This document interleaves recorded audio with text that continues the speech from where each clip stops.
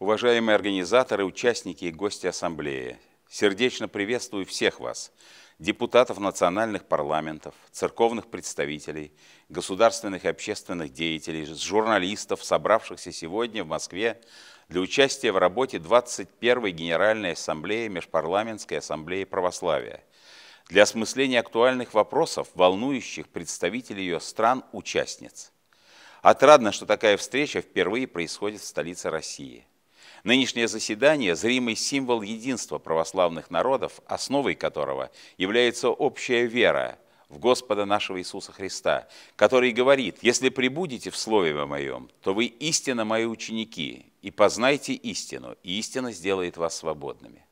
Хотел бы отметить, что вера – это не только некое мировоззрение или религиозное учение, не просто набор доктринальных и этических норм, не какая-то система запретов с описанием требуемого повиновения и санкций за нарушение правил. Подлинная вера живет в самом сердце человека, пронизывает все его бытие.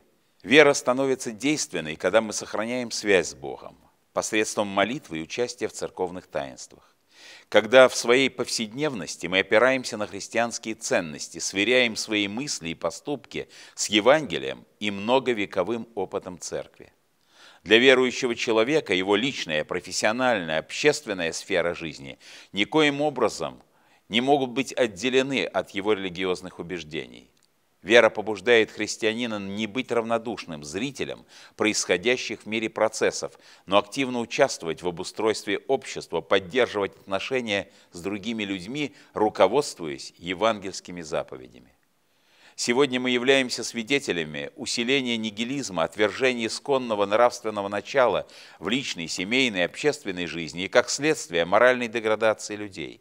Все это угрожает духовному фундаменту современной цивилизации – в условиях нынешней экономической, социальной и политической нестабильности, появления новых очагов напряженности, на всех нас лежит бремя особой миссии. Мы призваны свидетельствовать ближним и дальним о подлинных основах человеческого бытия, о необходимости взаимопомощи, жертвенности и миротворческого служения. Желаю участникам этой московской встречи плодотворных трудов и помощи Божией в благих делах и начинаниях. Сожалею, что я лично не могу приветствовать вас и передаю вам это послание с надеждой на успех вашей работы и с пожеланием благословения Божия в вашей профессиональной деятельности.